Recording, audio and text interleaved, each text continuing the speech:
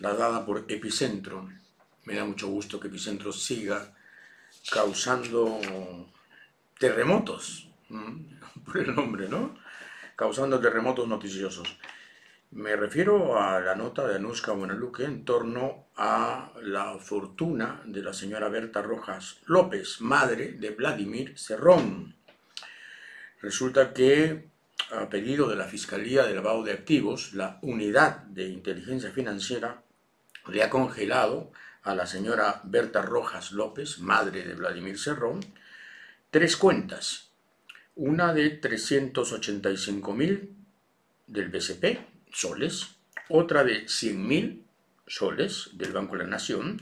Y una de 235.554 dólares que es también del Banco de Crédito. En suma, lo dice Anuska Buenaluque, un millón y medio de soles aproximadamente. Desde el año 2014 hasta el año 2019, la madre de Vladimir Serrón declaró ante las ingresos anuales que oscilan entre los 50.000 y los 100.000 soles anuales. ¿De dónde entonces este dinero? Eh, una de las cuentas, la de 100 mil soles, es la cuenta de su pensión, que ella no toca porque no necesita tocar esa cuenta, porque al parecer tiene otros ingresos. Y vaya que si los tiene. Cuando su hijo se vio envuelto en los graves problemas judiciales en los que estuvo, por los cuales fue además sentenciado, eh, la señora, para pagar la reparación civil y evitar la cárcel del hijo, la señora hizo un depósito judicial en efectivo por 284 mil soles el 16 de noviembre del año 2020. Cuatro días antes, el 12 de noviembre, sacó de un fondo mutuo 289 mil soles y en el formulario que tuvo que firmar para retirar ese dinero declaró que este provenía de sus ahorros de 30 años. Pero si se gastó los ahorros de 30 años en el 2020, ¿cómo es que ahora tiene un millón y medio también de supuestos ahorros?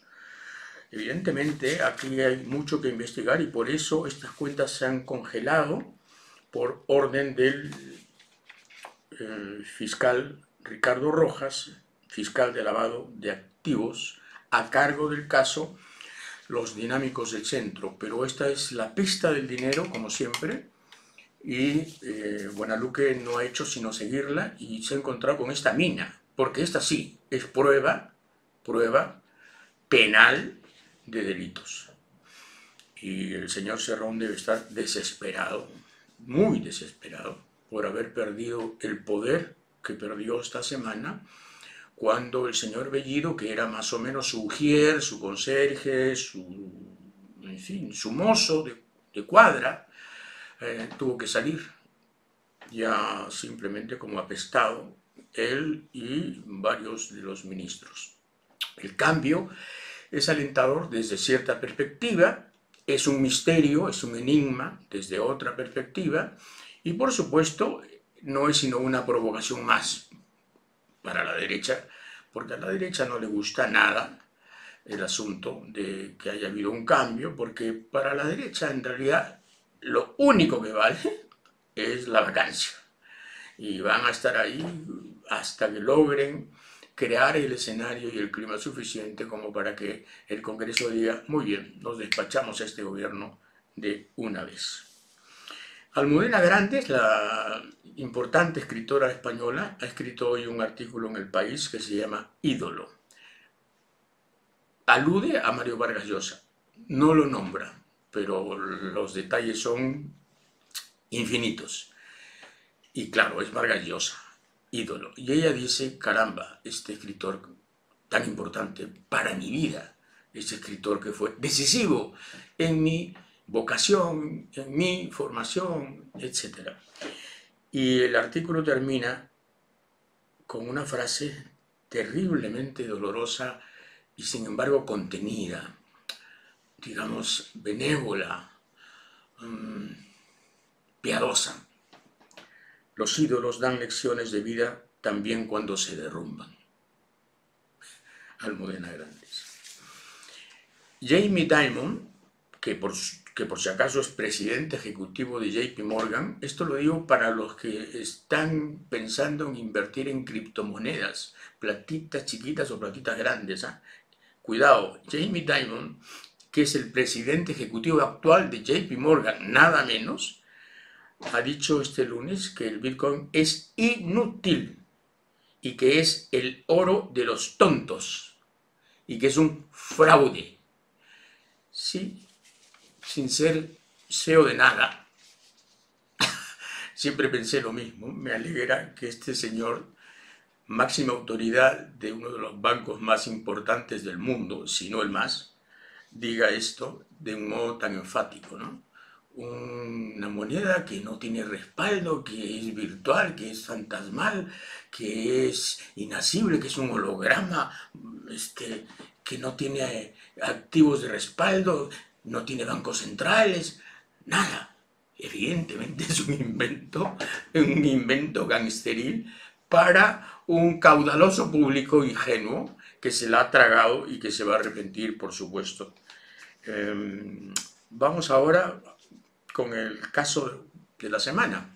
El ministro del Interior, don Luis Barranzuela. El ministro del Interior va a ser citado al, Ministerio, perdón, va a ser citado a la Comisión de Defensa del Congreso. En fin, em, Barranzuela tiene un anticucho gigantesco como ex policía más de 140 sanciones diversas. Eso sería lo de menos, porque en la policía hay sanciones por todos, por, digamos, de toda índole y, por cualquier caso. El problema es que estaría metido en una operación muy difícil de tragar, muy difícil de admitir, que es la cancelación de la erradicación de los cultivos ilegales de coca. Es decir, Um, lo que el señor Bermejo ha venido predicando desde hace tiempo, eh, en privado y en público. Lo que el señor Bellido también empujaba desde su perspectiva, la cancelación de la erradicación de la hoja de coca. Ojo, nos volveríamos un estado paria para algunos estados y nos volveríamos simplemente una república eh, narco. Si, con los cocales clandestinos la industria de la cocaína en el Perú se ha vuelto casi tan importante como la colombiana. Imagínense lo que sería si paramos con la erradicación de los cocales ilegales. Ese cuento de, la, de que la industria de la coca nos puede favorecer, ese es el cuento de Evo Morales, el cuento boliviano que no sirvió de nada y que aquí simplemente convertiría al Braem en una especie de república ya, con himno, bandera y, e instituciones propias. Mucho cuidado, porque si eso es cierto, si eso se confirma, si eso se confirma plenamente, si se confirma que el señor Barranzuela ha dado la orden de parar la erradicación, estaríamos ante una causal notoria de censura.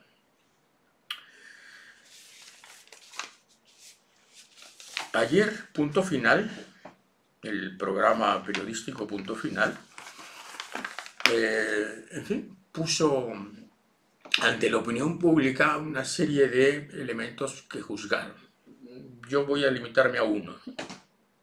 El caso del señor Fernando Rospigliosi, que a través de la empresa FRC Consultores, FRC es Fernando Rospigliosi Capurro, Consultores, le cobró al partido de la señora Keiko, la organización llamada Fuerza Popular, 180 mil soles, creo que en tres partes, al final 180 mil soles, para darle unos papeles sobre inseguridad ciudadana, supuestos trabajos de investigación en torno a la inseguridad ciudadana, porque claro, como él fue ministro del Interior, sabe mucho de inseguridad ciudadana, este, la fomentó con su gestión horrorosa y desde luego este, cobra por eso. El problema es que después de cobrar por eso sale ahí, sale en el debate como militante flamante de Fuerza Popular este, a defender principios y a defender, este, en fin, puntos de vista recién adquiridos gracias a esta personalidad de sucesivas lealtades que posee. Pero no sabíamos que había cobrado 180 mil mangos por su consultoría en torno a la inseguridad ciudadana. Francamente, un poco de vergüenza ajena, eso es lo que se siente. La cuestión de confianza, es decir, el proyecto de ley cambiando la cuestión de confianza que el Ejecutivo rechazó y que el Congreso ha aprobado por insistencia, va a tener que ir de todas maneras a una instancia superior y la única instancia superior es el TC, el Tribunal Constitucional. Porque de lo que se trata, no lo digo yo, lo dice, digamos, gente mucho más próxima al tema, como el doctor Omar Cairo, que es especialista en constitución, el objetivo es, eh, y lo dice textualmente, esta ley establece que no se puede plantear cuestión de confianza respecto de solicitudes que hace el ministro sobre reforma constitucional, atribuciones exclusivas del Congreso y atribuciones exclusivas de otros órganos constitucionales autónomos.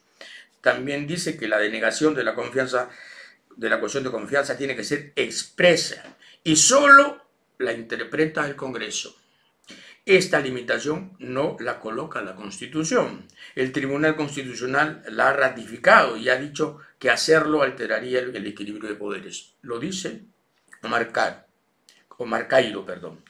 Entonces, dice Cairo, esta ley hace una interpretación que disminuye las atribuciones del Ejecutivo de plantear una cuestión de confianza. Lo limita porque si el presidente de la República plantea un proyecto de ley de delegación de facultades y la primera ministra pide al Congreso que se apruebe esa ley y hace cuestión de confianza, entonces el Congreso le va a decir improcedente, porque la atribución de la legislación es mía, es exclusiva del Congreso. Yo legislo, tú no legislas. Por lo tanto, no puedes hacer cuestión de confianza si pides facultades legislativas.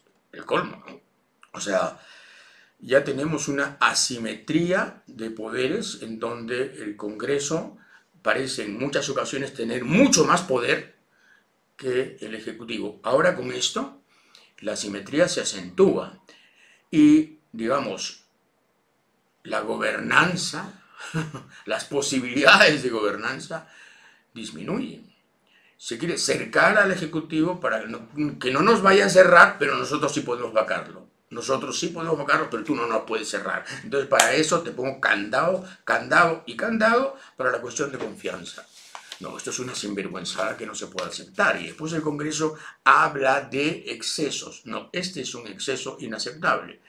Por eso están tan apurados para ver si cambian el Tribunal Constitucional para que el Tribunal Constitucional que ellos hagan ad hoc con su gente sea el que dictamine al final quién tiene la razón en este asunto, que es un asunto jurisdiccional eh, absolutamente decisivo. Y bueno, eh, Castillo se libró de Bellido, se libró de un gabinete, digamos, de lo más cuestionable, pero se libró de Bellido, el hombre de Cerrón adentro. Desde luego, quedan muchas dudas, y quedan muchas preguntas por hacerse, y quedan muchas, eh, digamos, eh, dificultades que vencer, y, enigmas, enigmas que resolver, que descifrar. Pero nadie puede negar desde, una, desde un punto de vista más o menos equitativo, más o menos sereno, más o menos, digamos, tranquilo, que ha sido un paso, ha sido un paso importante sacar a Bellido, era auténticamente un topo del serronismo marxista-leninista en el gabinete. Eh, sin embargo, la campaña, la campaña, digamos, de la prensa conservadora, que tiene todo el derecho de decir lo que le dé la gana, pero yo tengo el derecho también de analizar lo que dice esa prensa, eh, insiste en el asunto de que no se trata de cambios, no se trata de maquillaje, no se trata de eh, adjetivos, sino se trata de lo sustantivo, si el gobierno no es como nosotros queremos, no es un gobierno aceptable. Entonces, claro, la campaña, por ejemplo, este, el presidente más populista en 20 años, Castillo, por supuesto, ¿no? aquí está, el presidente más populista en 20 años. Bueno, pero caray, pero ¿quiénes son los otros presidentes? Alberto Fujimori, preso, Valentín Paniagua y su casto interinato de un año, él está totalmente al margen, y Alejandro Toledo, extraditable en este momento, y Alan García, hombre que se pegó un tiro cuando iba a ser apresado por la fiscalía después de que se supo todo lo que debía saberse en torno a sus finanzas millonarias e inexplicables. Ollantumala, el hombre que recibía plata de los brasileños, de Odebrecht, sin decirle nada a nadie y haciéndose el comandante este, heroico, ¿no? Pedro Pablo Kuczynski, que ya sabemos cómo está, con detención domiciliaria, wow, este, pobre hombre, ¿no? Octogenario, destrozado, este, divorciado a la fuerza, ahí en la soledad más absoluta. Bueno, merecida, sí, pues. Mire, merecida. No se puede ser uno, no puede ser uno tan conchudo de ser presidente y ser negociante a la vez y hacer negocios desde la presidencia, ¿no? con, el tal Sepúlveda. Martín Vizcarra, que en fin, ya sabemos las esperanzas que suscitó y la decepción gigantesca que produjo. Madre mía, casi digo alias lagarto, pero no lo, pero no lo, no, no lo voy a decir. Y Francisco Sagasti, que en fin tiene un pasaje muy breve, eh, fue el hombre que trajo vacunas y ahora está pidiendo pensión vitalicia porque fue presidente, digamos, azaroso y casual. Claro, este, el presidente más populista en 20 años, pero miren, miren los precedentes, ¿no? Los precedentes de los presidentes. Mamma mía, socorro, qué, qué rico país es, el que tenemos, ¿no? Y claro, este, la campaña de la prensa conservadora continúa. Mariela Balbi dice Castillo está vinculado al Movadef suficiente para que no esté en el poder. Ya, vacancia de una vez. Vacancia de una vez. Es, eso es lo que solicita la señora Balbi, que como ustedes saben simpatiza con el Fujimorismo de un modo notorio, tiene todo el derecho de simpatizar con quien le dé la gana, pero decir que el señor Castillo es del Movadef y que hay que vacarlo por eso, bueno, en fin, es otra cosa. Y voy a citar de nuevo a mi amiga Marta Meyer porque, francamente, sí es citable. De verdad, había en selecciones del Reader Digest una sección que era cita citable. Bueno, la señora Marta Meyer se ha ganado ya el titular, el logotipo de esa sección vieja de la revista Selecciones. Aquí no gobierna Cerrón, dice. Castillo ni los caviares, sino Cuba. Aquí gobierna Cuba, dice. Desde la mesa situacional de La Habana. ¡Wow! Cuba gobierna, o sea, Cuba que está exhausta, exánime, desfalleciente, que acaba de regresar a la privatización de negocios pequeñitos a ver si así resucita un poco al zombi de la economía que tiene por delante o por detrás, no lo sé. Cuba, Cuba, que es incapaz, incapaz de nada en este momento, que se quedó sin Venezuela, inclusive, y que solo tiene cerca por ahí Haití, país liquidado, este, Cuba no gobierna. El poderío de, Cuba. Marta cree que estamos en, el año 66, ¿no? cuando estaba OLAS, la organización con la que Fidel Castro quiso, este, exportar el ánimo revolucionario. Y bueno, el titular de Expreso, ¿no? Sendero sigue en el gobierno. Sendero sigue en el gobierno, ya está. Y si Sendero sigue en el gobierno, este, bueno, Claro, la reflexión es esa, ¿no? Si Sendero sigue en el gobierno, entonces viene el almirante Cueto, Cuetito, Cueto, Cueto, perdón, el señor Cueto, reviento Cuetos, y dice, vacancia, ya está, ya está. Sucesor de Grau, en el puesto de comando de un de una canoa de hojalata. ¿No? Ahí, vacancia, ya está. Y claro, el, editorial del comercio, Cerrón sigue presente, o sea, veído, despedido, malamente, humillado, pero Cerrón sigue presente. Claro, puede ser que se refiera a que Cerrón sigue presente porque el señor Luis Barranzuela efectivamente es hombre de Cerrón. Y el ministro de, de Educación, en fin, ya veremos, también puede ser hombre de Cerrón, pero digamos, no se reconoce el intento de Castillo de apartarse de esa zona caliente y abismal que lo puede llevar simplemente al infortunio. No se reconoce nada. Castillo es lo mismo, los cambios son distractivos, maquillaje puro, es un cuentazo, lo que hay que hacer es vacarlo. Hombre, pero entonces si estamos en esa, de una vez definamos el partido, porque no podemos vivir en la agonía de un golpe de Estado inminente en la víspera de unos tanques o de una resolución congresal de 87 congresistas que digan ya no, no queremos más al presidente. ¿Por qué no lo confiesan? El problema es que es Castillo, un profesor rural que habla muy mal, este, que seguramente piensa poco, y que fue el ganador de las elecciones. Ese es el horror que no entiende. Por eso Vargallosa dice, no es cuestión de la libertad, es cuestión de saber votar. Sí, pues, sí, pues, es cuestión de saber votar.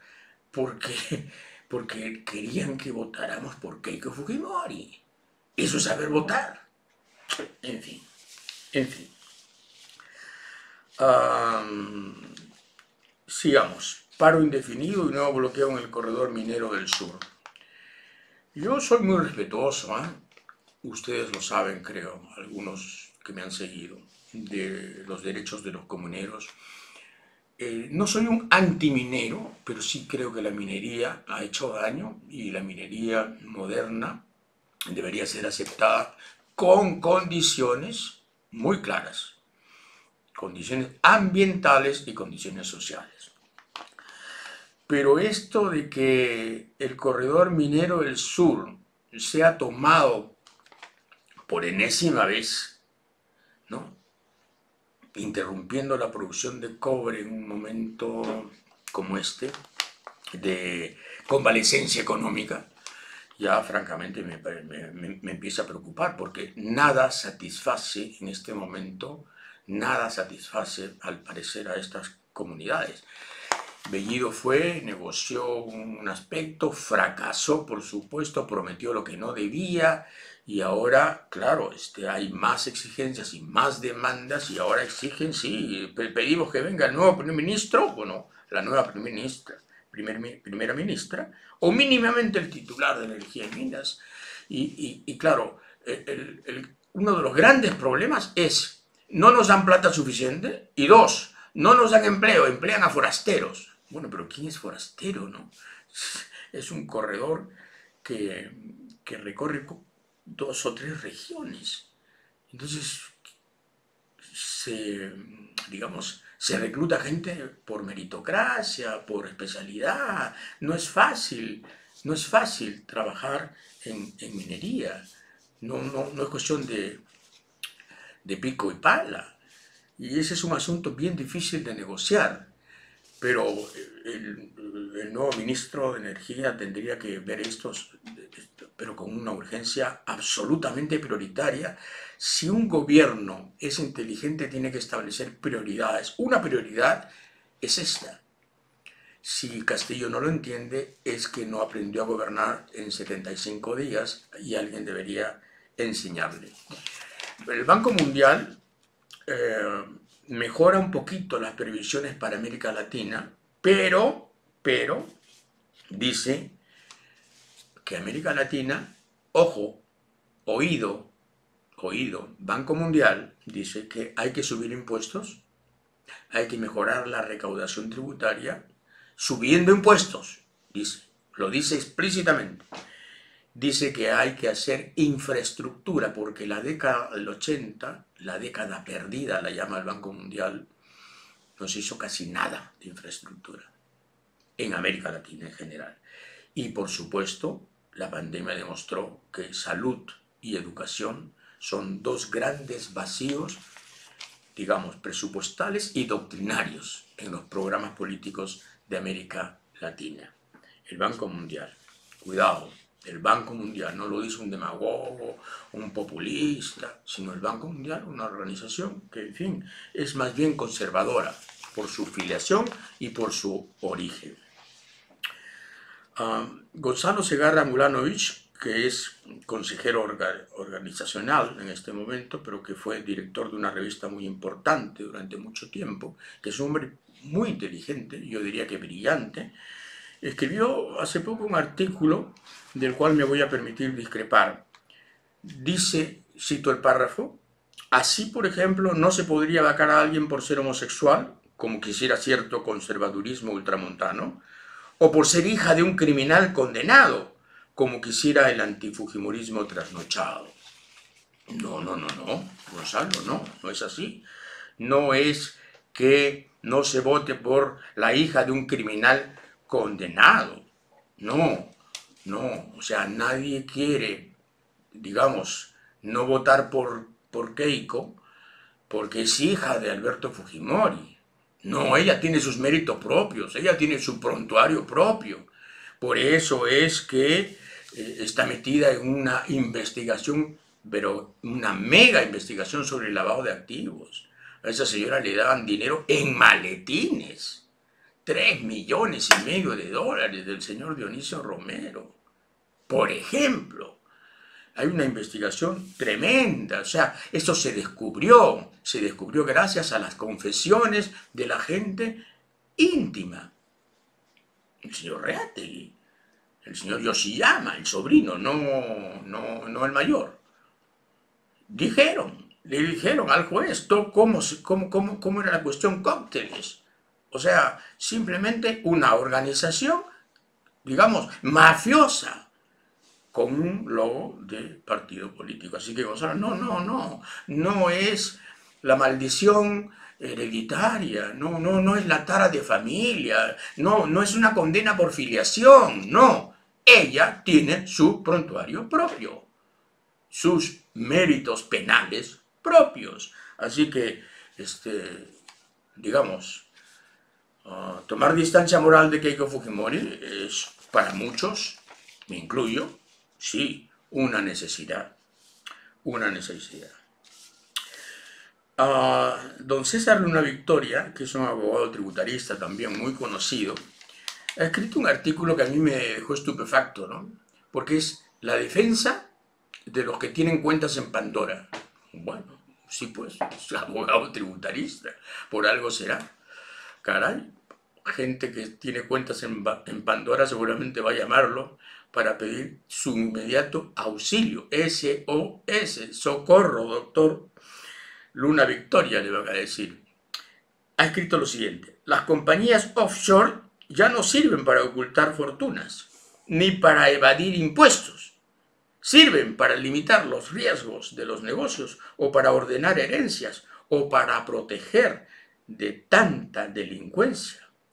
La publicidad de los documentos de Pandora viola el derecho a esa privacidad. La razón de la noticia, entonces, no ha sido denunciar fraudes fiscales, sino una cierta morbosidad por mirar la riqueza de otros, a ver si se les mancha de lavado de activos o de fraude fiscal. ¡Wow, doctor! Una victoria se pasó, ¿ah? ¡Qué bárbaro! ¡Qué bárbaro! Que se pasó, se ha ganado usted una clientela potencial gigantesca y adinerada. No tengo la menor duda. Sus cuentas van a florecer con esta defensa. ¿No? Claro, si no sirven para limitar los si no, si no sirven para ocultar fortunas o para evadir impuestos, ¿para qué sirven? ¿Por qué no tener las cuentas claras aquí? ¿No? ¿Por qué tienen que ser offshore y además en muchos casos fiduciarias? Eh, empresas creadas que esconden nombres, este, que, que, que, esconden sumas que no se declaran en el país donde se reside, ¿no? O sea, ¿por qué, señor doctor Luna Victoria, por qué entonces el señor, el presidente de Chile, don Sebastián Piñera, está en este momento con la soga al cuello porque le han armado una investigación tremenda en el Congreso y en la Fiscalía? ¿Por qué? Porque es tramposo, pues, porque es tramposazo. Y entonces los periodistas de investigación internacionales que han descubierto estos papeles, los documentos de Pandora, serían unos perfectos idiotas, ¿no? Al anunciar los papeles de Pandora, cuando tenemos aquí al doctor abogado tributarista César Luna Victoria, que dice, cuidado, no sirven para nada, todo está claro. Me encanta. A mí me encanta, me encanta, me encanta la gente que tiene eh, esa, esa desfachatez, esa, digamos, en fin, esa claridad ¿no? para defender sus puntos de vista. Héctor López Martínez, historiador, periodista, hombre respetable, amigo, ha escrito una nota sobre los 180 años que el comercio está eh, donde está, el local del comercio, la esquina de la rifa, de la calle La Rifa. Y dice, los fundadores, Manuel Amunátegui y Alejandro Villota, desde mediados de 1840, curioso, ¿no? Dice, los fundadores, Manuel Amunátegui, no dice que Manuel Amunátegui era chileno y Alejandro Villota era argentino que son los fundadores del comercio. Manuel Amunategui era un chileno que se quedó aquí después de la guerra que tuvo la Confederación Peruano-Boliviana con Chile. Él fue uno de los que invadió Perú hay gente que cree que la primera invasión chilena es la invasión de la Guerra del Pacífico en 1881, cuando llegaron a Lima. No, la primera invasión al Perú fue en 1836. O sea, transcurrió del 36 al 39, que es los tres años de la guerra que Chile le declara al Perú porque se confederaron Perú y Bolivia. Y Chile dijo, no, no aceptamos esa confederación porque ustedes van a ser una potencia este, importante y nosotros no aceptamos una potencia aquí a nuestro costado. Hicieron una guerra con complicidad de muchos peruanos, por supuesto. Muchísimos peruanos se sumaron a la guerra porque no podían ver al Castillo de esa época, que era el presidente Andrés de Santa Cruz, que era boliviano, paseño, del Alto Perú. Entonces era el Castillo. Y hay, y hay, cuidado, hay literatura este, consignada este, en donde le llaman de todo. Cholo para arriba, cholo para abajo, auquénido, en fin. El racismo contribuyó muchísimo a eso. Entonces, este, vino hoy con el ejército chileno y se quedó en Lima, le gustó Lima. Y este, poquito después, en 1839, efectivamente, se juntó con su amigo Alejandro Villota este, y fundaron el comercio.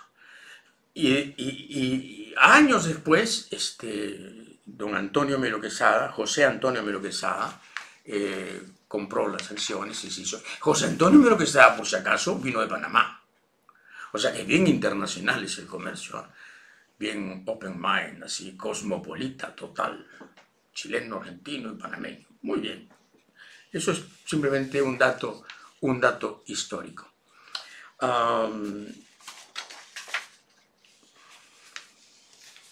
El ministro de Educación saliente, el ministro de Educación saliente ha dicho algo terrible, ¿no? Terrible. Ha dicho, a mí me sacaron por WhatsApp. Wow, ¿cómo, cómo? Sí, me sacaron por WhatsApp y me un mensaje, este, ya no es usted ministro. Juan Cadillo, ¿no? Pobre, pobre, hombre, porque la verdad es que es el colmo de la informalidad, el colmo de la falta de criterio, de modales, de, diría yo, de dignidad, ¿no? Por WhatsApp. Por WhatsApp no se despide a nadie, ¿no? Pero en fin, este, el problema es que Juan Cadillo le ha añadido a esa anécdota vergonzosa un detalle este, preocupante ha dicho que efectivamente, desde que él estuvo viendo el asunto de los sindicatos magisteriales, recibió mucha presión para, en fin, avalar al FENATEP, o sea, al sindicato rival del SUTE, el FENATEP, que es el nuevo nombre del CONARE SUTE. Y el FENATEP es, en fin, es una organización que se vinculó de un modo orgánico con Movadef. Eso está claro. Entonces el señor este, se resistió, no quería saber nada con FENATEP y al parecer su salida, su salida, tiene que ver con eso. Lo dijimos la semana pasada como una presunción y ahora sí parece una certeza porque él mismo lo ha dicho. Había presiones para que yo ayudara al FENATEP. Entonces, este, Betsy Chávez, que es la nueva ministra de Trabajo, me imagino que hará algo, ¿no? Porque resulta que el, que SUTE está pidiendo, y creo que con derecho, la revisión de esta eh, consagración que recibió el FENATEP de manos de, del ministro anterior, ¿no? Del señor Maraví, como ministro de Trabajo, que lo hizo así, creo que en un par de días. El FENATE fue y dijo, quiero mi reconocimiento. ¿Cuántas federaciones? Ni le, ni le preguntaron cuántas federaciones. Ya está, listo, reconocido, listo. Y claro, el objetivo del FENATEP es tirarse abajo el SUTE, cogerse la derrama magisterial y convertirse en el banquito de la nación de los maestros para asegurar que el futuro del partido magisterial y popular que es el partido en donde ellos pretenden tener un gran dominio y una gran influencia. Esa jugada es bien fea y el SUTE, por supuesto, que va a pelear, va a pelear mucho por eso. ¿Se recuerda a este payaso de Juan Guaidó, ¿no? que se hacía el presidente, 66 este, países, entre comillas, por supuesto, empujados por, por Trump, eh, entre ellos, por supuesto, Perú, con Kuczynski a la cabeza, ¿no? lo reconocieron. Presidente, el único presidente que no tenía ministro, ni Fuerza Armada, ni policía, ni comisaría, ni alcaldía, no tenía nada. presidente, presidente. Bueno, ahora resulta que este, El Comercio, un diario tan importante, eh, entrevista a José Antonio Colina, que es un exiliado venezolano ah, que vive en los Estados Unidos y que dice Juan Guaidó no vale nada. Juan Guaidó es el peor fracaso de la oposición venezolana. La oposición venezolana no existe gracias a Juan Guaidó. Entonces, ¿ahora qué hacemos con Juan Guaidó? ¿Qué, hará el, doctor Maurto con Juan Guaidó? Este, y, con su, y con su embajador. Este embajador, pseudo embajador, que finge ser representante de un gobierno inexistente. ¡Wow! O sea, hemos reconocido al gobierno, eh, digamos, imaginario de los saharauis. Me parece bien porque es una cuestión ética, ¿no? Es el, viejo pleito de la República Saharaui con el poderoso y corrupto, siempre corrupto Marruecos. Pero esto, ¿cómo se explica? ¿Cómo se explica? Hay que, hay que, hay que mm, simplemente eh, luchar porque las conversaciones en México lleguen a un buen fin. Pero todo indica que no va a ser así. Y todo indica que vamos a tener otra oleada migratoria venezolana en nuestros, en nuestros territorios. Territorios, digo, porque por el sur, es por el norte, ¿no? En nuestras fronteras melladas como un queso gruyere. Yo cuando viví en Madrid tenía algunos pequeños placeres. Uno de mis placeres cotidianos era leer, bueno, no cotidianos, semanales, en fin, era leer a Manuel Vicente. Cómo me encantaba Manuel Después leí sus novelas, me adentré en este escritor valenciano, para mí magistral, y compartí siempre con Manuel Vicente su, su prédica antitaurina, ¿no? Si hay algo que odio con toda mi alma y con absoluta decisión, sí, sí, porque hay que odiar algunas cosas, hombre, sí, cómo no.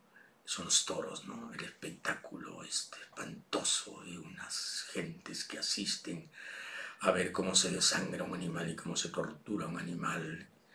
Pero claro, ¿quién lo va a decir mejor que Manuel Vicente? Que además lo dice con ironía, él ha escrito este libro, bueno, hace muchos años escribió este libro, Anti-Tauromaquia, Manuel Vicente.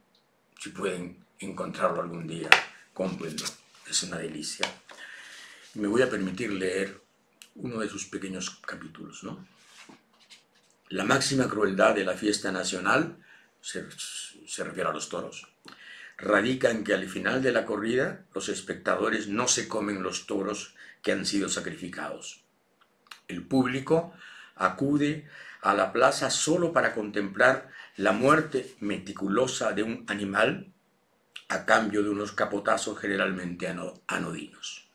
Durante la ceremonia, la gente grita, aplaude, escupe, corea los lances, celebra la perfección de las estocadas o la precisión de la puntilla. El toro va cediendo su gran hermosura con lentitud hasta llegar a la última degradación de la agonía muy amasada de sangre. Pero la máxima crueldad se produce cuando el público abandona los tendidos con alegría o blasfemando. Los toros asesinados han sido arrastrados al desolladero y una vez troceados desde allí parten hacia las instituciones de beneficencia o se venden en carnicerías anónimas si al terminar la corrida los aficionados bajaran de las gradas y celebraran un banquete ritual, devorando a las seis víctimas en el desolladero, esta matanza, aunque brutal, alcanzaría el sentido religioso que poseía en la antigüedad. Hasta el siglo XVIII en España se celebraba un rito que consistía en llevar un toro a misa el día de San Marcos. Luego de tomar la comunión, se lo comían. Ya no sucede así.